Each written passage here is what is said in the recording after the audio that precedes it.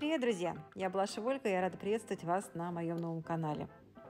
Сегодня мы с вами все еще в Воронеже, и сегодня я вам покажу немножко города, покажу немножко секонд-хенда, немножко антикварных кукол, в общем, всего по чуть-чуть.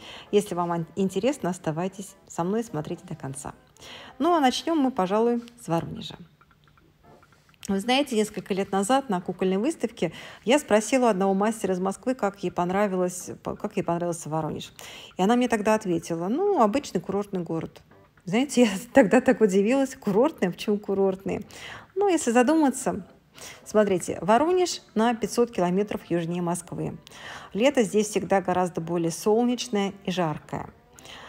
А в Воронеже есть свое собственное так сказать, море – это Воронежское водохранилище. Оно делит город на два берега, на левый и правый берег, которые соединяются между собой мостами. Чем не курорт? И, нас, и в конце концов, летом здесь пахнет курортом, то есть пахнет водой, пахнет раскаленным песком, пахнет какими-то южными растениями. В общем, почему бы и не курорт?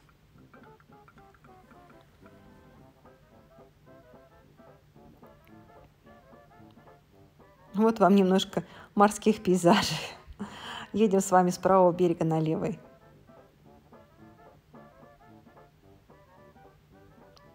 Еще вы просили показать старый город.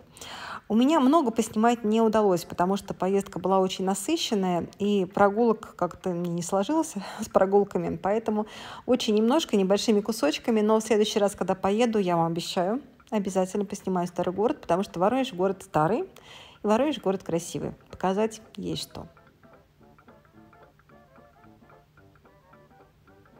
Это БИМ. И сидит он напротив детского кукольного театра. Расположен он на проспекте Революции. Раньше эта улица называлась Большая Дворянская.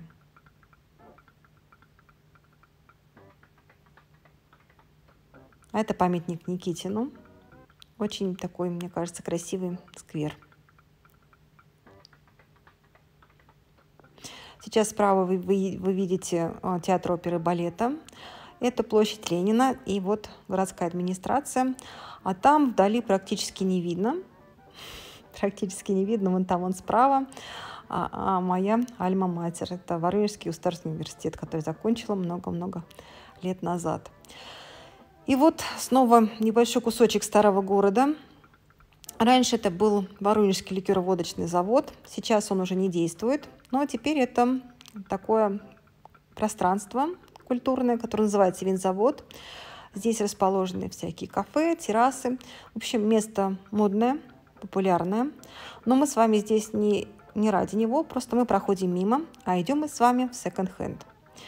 И идем мы туда сегодня потому, что там сегодня скидки 90%. Знаете, я секонд-хенд для покупок для себя одежды не рассматриваю. Хотя здесь бывают вещи абсолютно новые, как вот этот, например, жакет, он даже, у него пуговичка сохранилась. Я в основном рассматриваю секонд-хенд как э, материалы для творчества, в основном на одежду для кукол. Сегодня Сразу вам скажу, что я себе ничего не купила, но покажу вам, как я обычно, что, как я разбираю для покупок. Ну, во-первых, конечно, мы с вами увидели кожаные и замшевые куртки, они хороши для кукольной обуви. А, еще я всегда рассматриваю вельветовую и бархатную одежду, потому что это натуральный материал, это хлопок. А, мелкий, мелкая фактура, она очень хорошо идет для кукольной одежды и для верхней одежды, и для платья. А, вот, пожалуйста, пиджаки, пиджаки и жакеты. Большое количество расцветок. Ничего не стала брать, потому что у меня уже куплено, уже сложена большая стопка именно вельветовых пиджаков. Вот эти цены, что я вам показываю, это полная цена. От нее отнимайте 90% и будет сегодняшняя скидочная цена. Понравился вот этот пиджак. Цвет здесь искажен, потому что в магазине темно. На самом деле это цвет молочного шоколада, очень красивый. Это бархат, и он вот такой вот фактурный. Тоже было бы очень красиво на кукольное платье или даже пальто. В случае, если мы с вами смотрим искусственную замшу, тут, конечно, нужно обращать внимание, чтобы она не тянулась.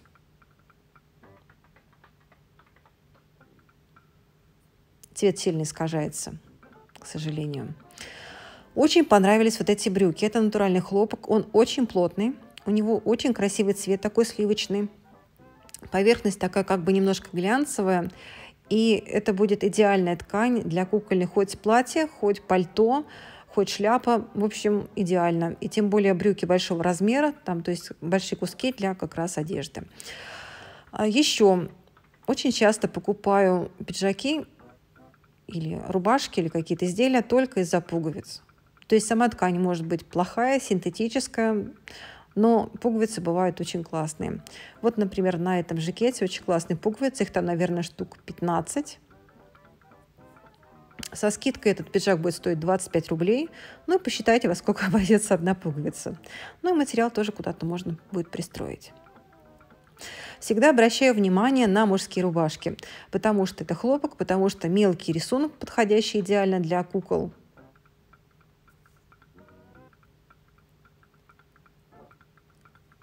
Но не только на мужские. Потому что на женских рубашках, помимо мелкой расцветки, еще бывают э, варианты интересной ткани. Вот в частности, вот эта ткань, это была вискоза. Посмотрите, какая у нее красивая фактура. И очень такой благородный какой-то винтажный цвет. Очень мне понравилась эта блузка. Но не купила. А бывает так, что платье прям вот не на что смотреть. Материал ужасная синтетика, но какой-то интересный декор. А, будь то бусины, бисер, стразы, какие-нибудь пайетки. Я думаю, что можно даже исключительно за декора купить это платье. Вот это платье, например, полностью, а, верхняя часть у него полностью хлопковое кружево. Почему бы и не взять?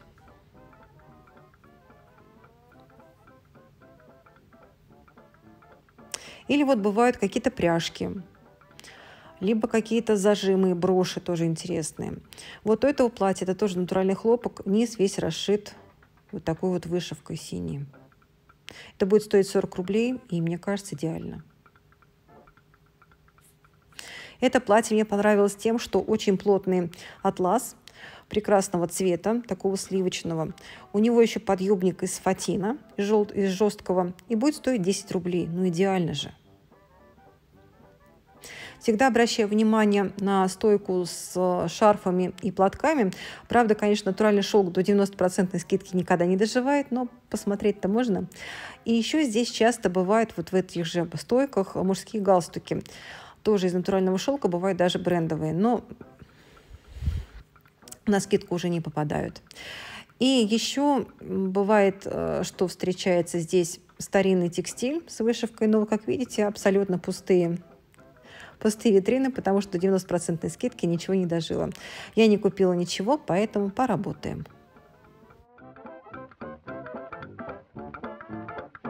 Смотрите, кто у меня в гостях, друзья. Всем привет. Это Николай Павлов, мой старый добрый друг. Он не, не такой старый. Не, старый друг. Так-то нет, так-то пари хоть куда еще. У нас с Николаем Павловым было интервью на основном канале. Если вам будет интересно, мы можем снова взять интервью. Да, Коль? Да, Дальше. пишите в комментариях вопросы. Да, с удовольствием, с удовольствием для вас еще поговорим, пообщаемся. И если хотите, я могу вам на этом канале тоже повторить то интервью, которое у нас уже было. В общем, пишите в комментариях. Я думаю, что с такими интересными людьми нужно чаще встречаться, чаще общаться. И вообще творчество заразная штука. Очень заразная, да, Коль. Вот. Я вам когда показывала свою коллекцию авторских работ, там были работы Николая, я вам показывала, и причем самая первая авторская работа, которая появилась в моей коллекции, была именно, именно его работа, это был «Ангел». Я, честно, думал, что ты уже заядлый коллекционер, потому что очень так выбирала. Я э, прикидывалась. Ну, вот так. Вот такая у меня замечательная работа, что дает возможность общения с такими замечательными людьми. Спасибо. Ну, пожалуйста. А сейчас мы готовимся к съемке. Я вам покажу самое чуть-чуть-чуть, потому что отдельно интервью выйдет отдельным роликом. И мы с вами в гостях у моей феи, у Светы Капковой. Это коллекционер антикварных кукол. И именно с ее помощью я купила свою первую куклу. И сейчас продолжаю с ней по всем поводам консультироваться. В общем-то, моя фея.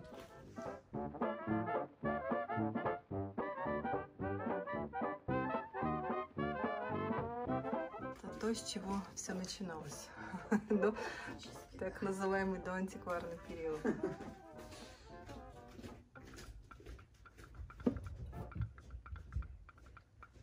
Ну, здесь есть очень даже...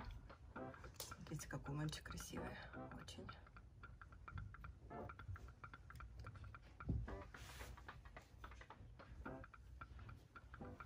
Смотрите, малышка.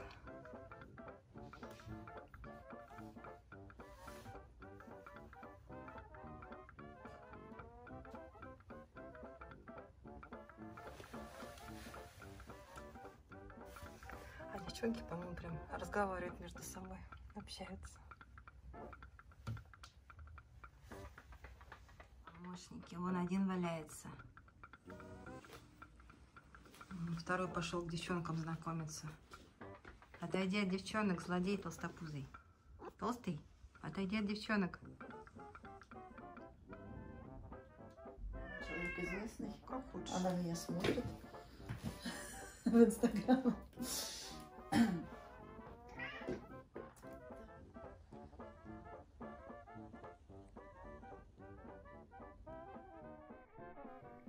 А интервью со Светой выйдет отдельным роликом позже.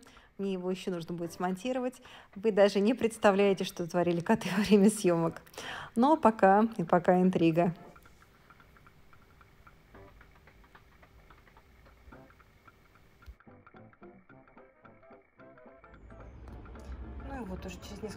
Нас в продаже появятся наборы для пошива бычка.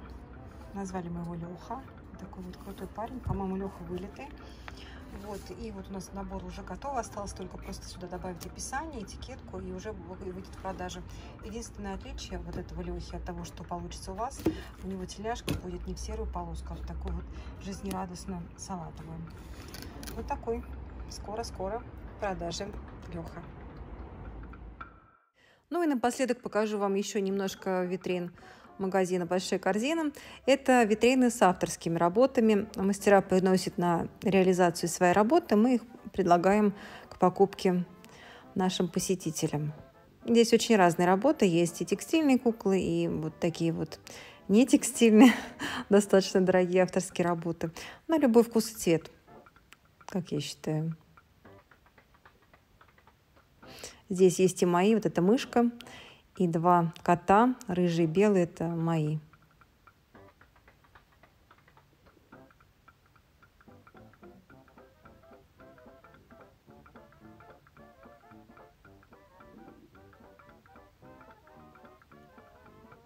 Бычки уже появились в продаже. Вот такие вязаные зайцы, они всегда пользуются спросом, потому что очень умильные.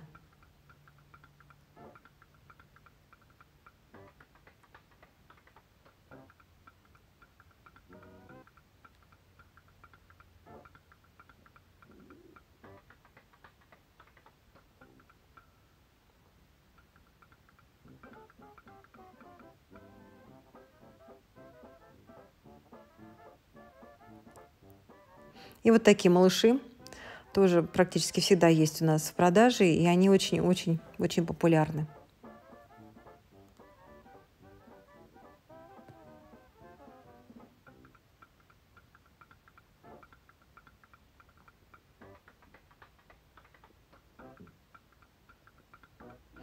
Ну вот, то, что у вас прошло несколько минут, у меня прошло 10 дней. Я провела в Воронеже 10 дней. Это были очень насыщенные дни, очень много встреч, очень много работы. Я довольна поездкой, и я возвращаюсь домой снимать для вас новые видео. Надеюсь, что вам этот ролик понравился. А если так, то поддержите меня лайком, репостом. Не забудьте подписаться, чтобы не пропускать новые видео. Давайте встречаться чаще и пока-пока.